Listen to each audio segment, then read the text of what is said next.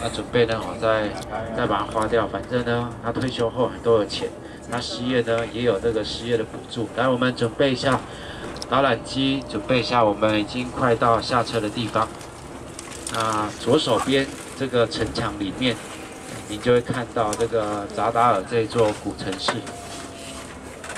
那右边这个是游轮的码头，那还有这个游艇的码头。